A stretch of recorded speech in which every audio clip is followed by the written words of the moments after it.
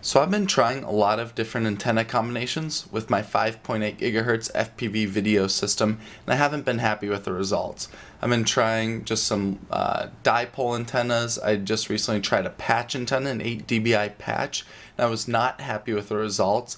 I don't think it had much distance and just had a lot of interference and I lost the omnidirectional capability of other antennas. So I was talking to guys on forums and they highly recommended these circularly polarized antenna sets. Um, and these run about 60 bucks a pair online plus shipping and handling so the price really adds up. So I decided to make myself a pair of these. This is the cloverleaf that goes on the video transmitter. This is the skew planar wheel that goes on the video receiver.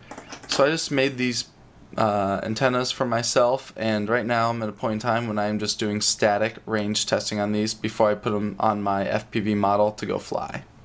So here I am downtown Chicago. I am testing out my homemade circularly polarized antenna set that I made for my 5.8 gigahertz uh, FPV video system. I have the skew planar wheel antenna here with the video receiver and I've got my monitor down here and I am at 8 tenths of a mile right now and I have awesome video signal. There's a little little little haziness to it but the video signal is solid. I'm shaking around right now the, the antenna back and forth turning it upside down and the video link is solid. It's not breaking at all. And I'm downtown, there's traffic going by there's a big uh, highway structure above me right now. There's poles in the way, there's trees, there's walkways between buildings, and this video signal is solid. So I'm really, really happy with this.